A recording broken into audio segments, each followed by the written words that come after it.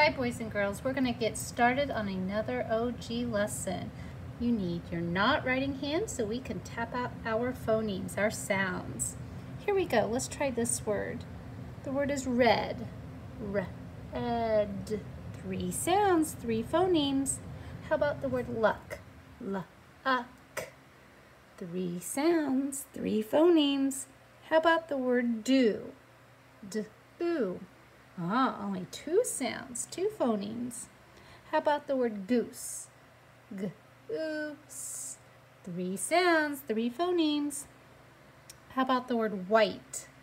White. Three sounds, three phonemes. How about the word fight? Fight. Three sounds, three phonemes. All right, let's review some of our closed syllable words. Remember, a closed syllable means it ends in a consonant. It makes the vowel say its sound. Here we go. Mad, ox, win, caught, lad. Rip, bat, sod.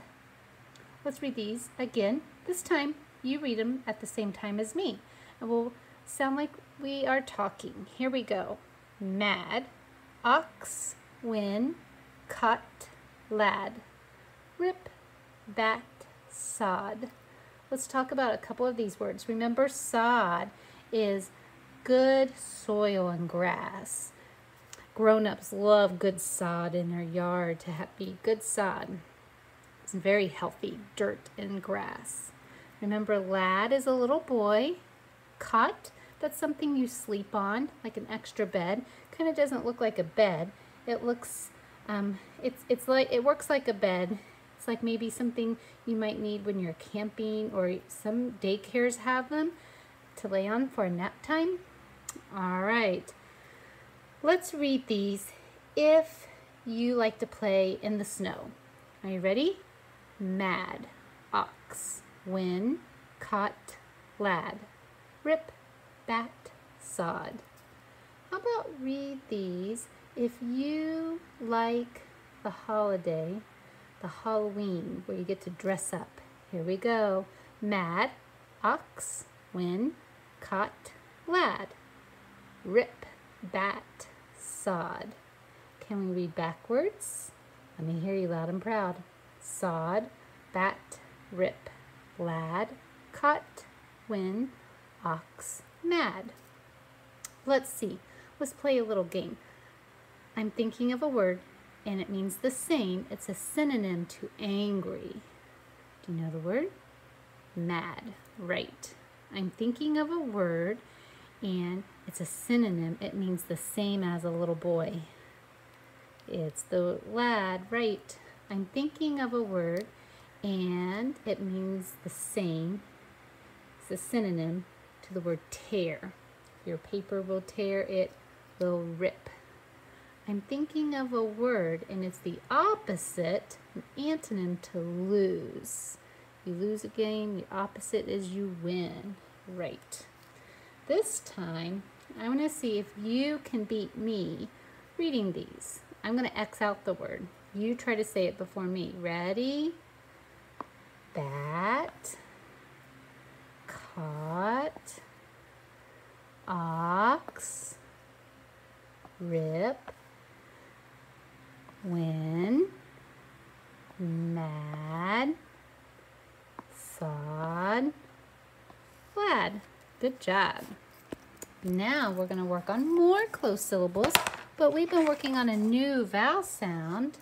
U says uh in a closed syllable word. These are still closed syllables. They still end in a consonant closed syllable. U says ah as in up, and you point your finger up. Are you ready to read these with me? You echo after me. Fun. Ooh, you might have to use your B checker. It's a D. Dud. Bud. Rut. Rub. Nut. Jug. Sun. Cup.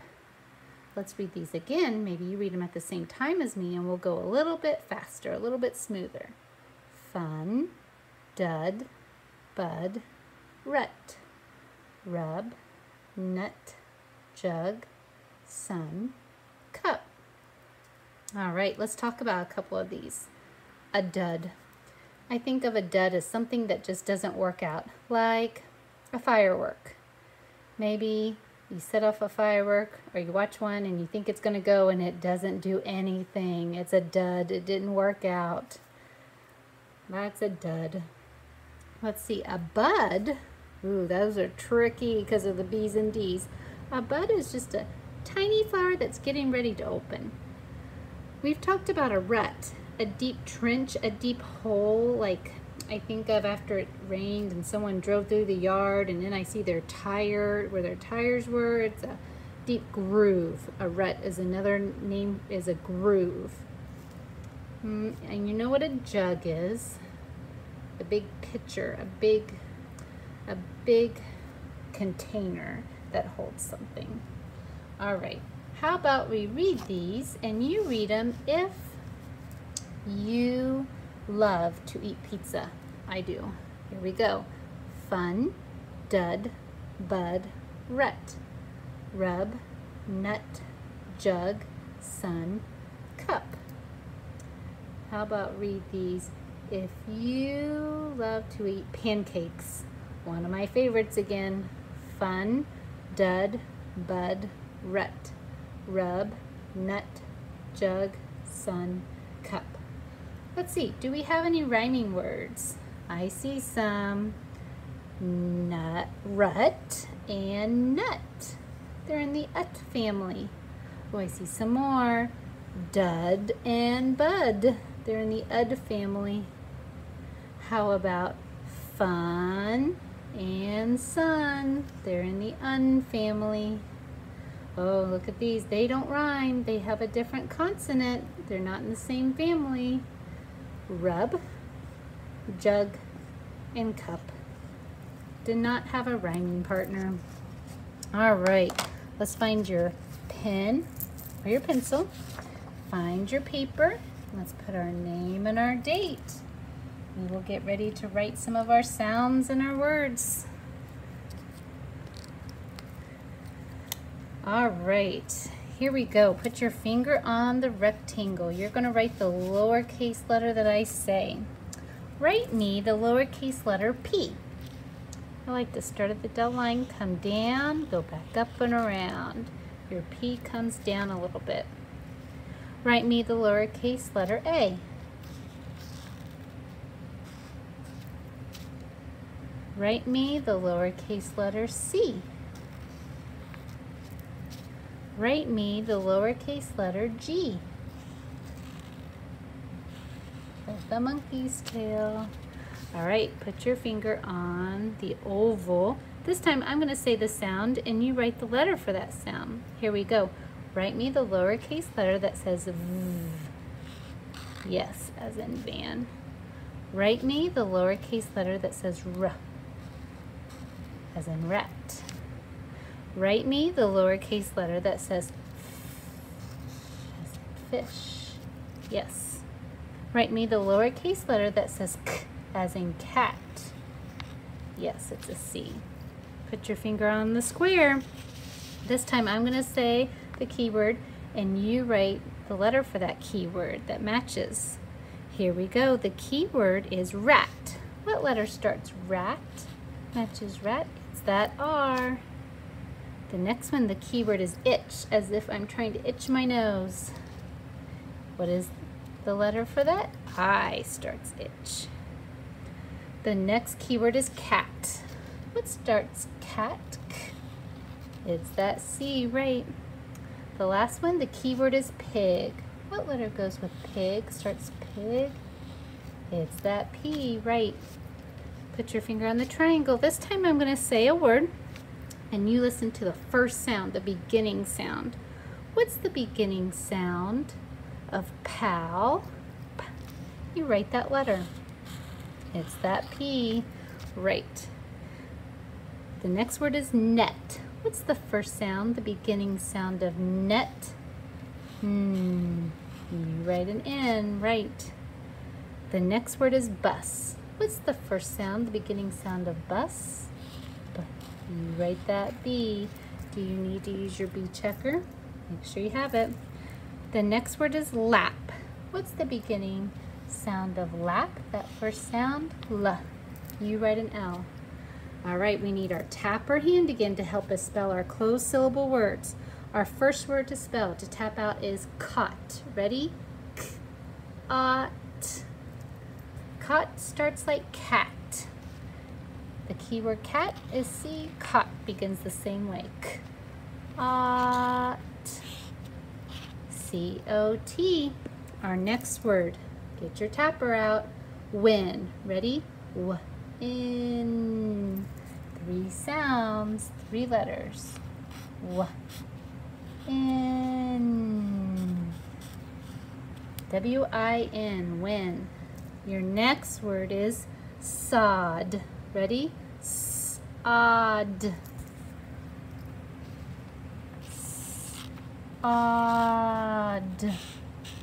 S-O-D. Make sure you made a D. Our next word is lad. Ready? L-ad. Add. L-A-D. Lad. Let's read these words again. You read them at the same time. Ready? Caught, win, sod, lad. All right, put your finger on the diamond. And we've been working on that new vowel sound. U says uh in a closed syllable word. Let's say that. U says uh. U says uh in a closed syllable word. U says uh in a closed syllable word. U says uh. All right, let's flip our paper over.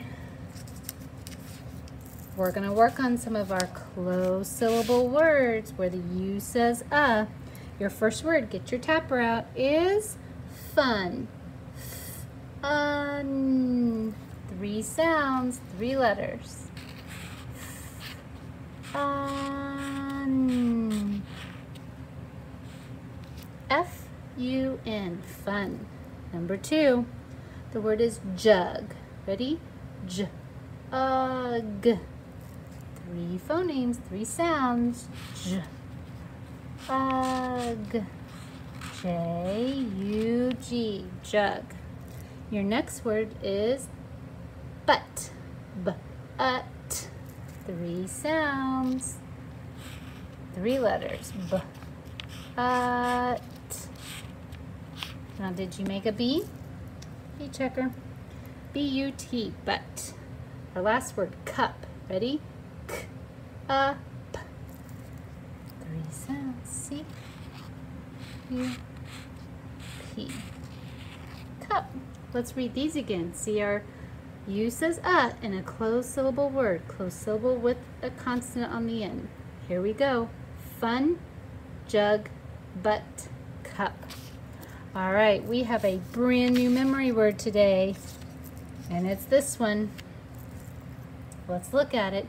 T-H-E-Y says they. Remember T-H starts like thumb. A. There's no A in they. I kind of have to say that to help me remember it. There's no A in they. Sounds like an A. The EY can say the A sound, but there's no A in they. Ready to skywrite it with me? Oh, before we skywrite, let's talk, let's use it in a sentence. They means many people. They are my friends. They are in my family. They are my pets. Can you think of a sentence? Here we go. Get your best skywriting hand. Let's look at it and spell it. T H E Y says they.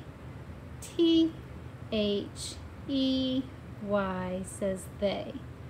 T H E Y says they. Let's write it. Let's say it as we write it. Ready?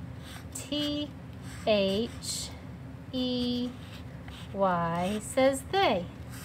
T H E Y says they. T H E Y says they. T H E Y says they. Let's put our pen down. Let's look at it.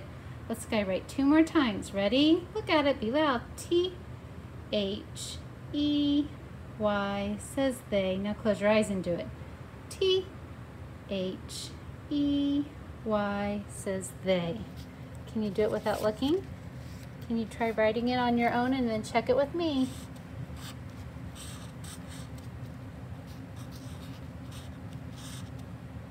All right, let's check. T H E Y says they. Good job. Now, do you remember how to spell the word as? Listen to how I use it. I am as happy as can be. I am as fast as a rabbit. Ah, remember? A-S says as. Let's write it. A-S says as. The S can sound like a Z. Do you remember how to spell his? It also has an S that can sound like a Z. That is his shoe.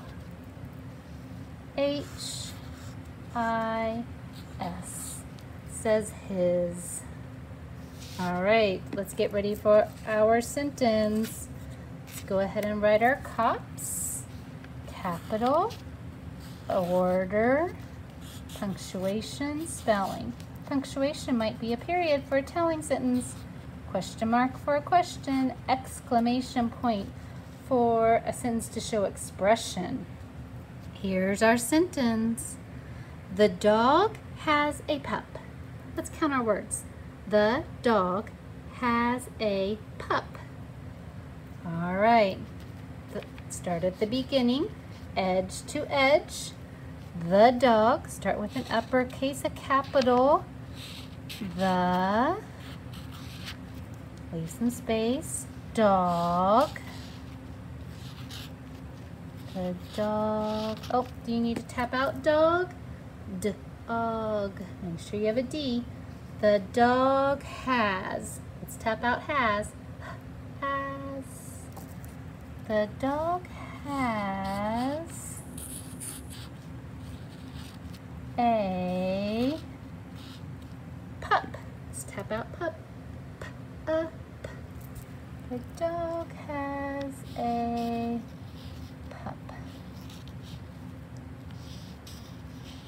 Now I'm telling you the dog has a pup. It's a telling sentence. So it just gets a period because I'm not asking, I'm telling you something. I'm telling you the dog has a pup. Period at the end. Do you have the order right? One, two, three, four, five. The dog has a pup. And remember, we tap out our words to help us spell it right. All right, good job today, boys and girls.